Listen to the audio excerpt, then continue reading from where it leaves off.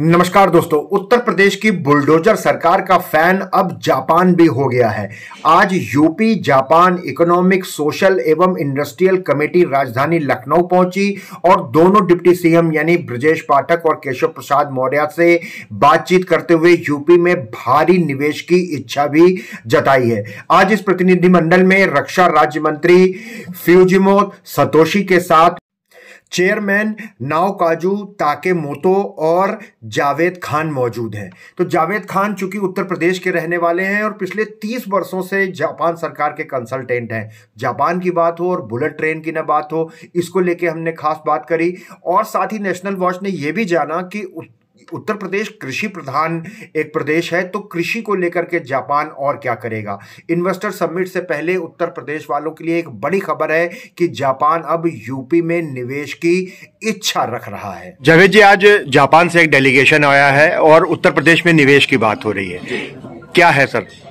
Basically ये जो delegation है, ये माननीय मंत्रीगढ़ का डेलीगेशन है। जापान के उप रक्षा मंत्री थे और आप हमारे बगल में जो बैठे हुए हैं, ये जापान के एक्स आईटी मिनिस्टर हैं और पिछले 45 साल से मेंबर ऑफ़ पार्लियामेंट है। ओसाका इनकी फाइनेंशियल कैपिटल है, वहाँ से मेंबर ऑफ़ पार्लियामेंट है। और आज एक कमेटी जो जापान की है पार्लियामेंट मेंबर्स की, जिसका लक्ष्य था कि उत्तर प्रदेश की मदद करना निवेश को लेकर के। यानी जो डेवलपमेंट होना है सोशल इकोनॉमिक और इंडस्ट्रियल डेवलपमेंट जापान की ही इंडस्ट्री मोस्टली आनी है उनको लगना है चाहे आज हम टोयोटा को देखें या होंडा को देखें या सुजुकी को देखें सबकी इंडस्ट्री आ चुकी है तो उनके जो पार्ट्स मैन्युफैक्चरर हैं अदर इंडस्ट्रीज़ हैं स्टील इंडस्ट्रीज़ हैं तो उनको यहाँ उत्तर प्रदेश में उनको बसाया जाए और उत्तर प्रदेश की इकोनॉमी को बढ़ाया जाए और लोगों को रोज़गार दिया जाए ये इसका मकसद है। जी सर जापान की जब भी बात होती है तो बुलेट ट्रेन का नाम ज़रूर आता है। जी। जी वो उसको लेके क्या कहना बुलेट ट्रेन को हम लोग दस सालों से चर्चा चली। माननीय मंत्री जी मेरे बगल में बैठे हैं। पिछले दस सालों से हम लोग लखनऊ बुलेट ट्रेन की चर्चा कर रहे हैं।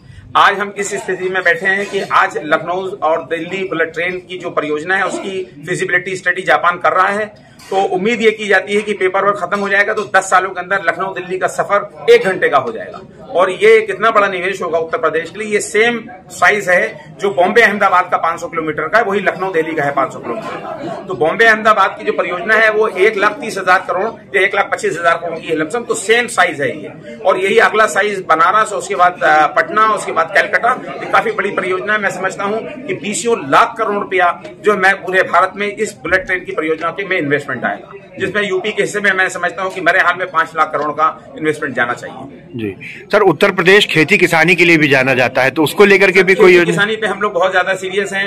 माननीय मंत्री जी के नाम से हम एक बल्कि एक एग्रीकल्चर की इंस्टीट्यूट भी कायम कर रहे हैं जिसके लिए कल हम लोग बांदा का दौरा है ज़मीन का दौरा करने जा रहे हैं। और वहाँ मंत्री जी वृक्षारोपण भी करेंगे एक पेड़ अपने हाथों से लगाएँगे और वहाँ उसकी जो है फाउंडेशन सेरेमनी रखी जाएगी। और उसके साथ माननीय सांसद जी बैठे हैं। निषाद बाबू जी ये भी हम लोगों के साथ कल जा रहे हैं तो हमीरपुर का भी कल दौरा है तो वो टेक्नोलॉजी जितनी भी एग्रीकल्चर की है, जापान से उसको यूपी में इंट्रोड्यूस किया जाए।